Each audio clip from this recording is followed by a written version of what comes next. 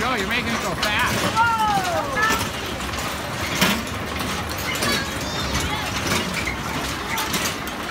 Well, one, we thought the ride was over.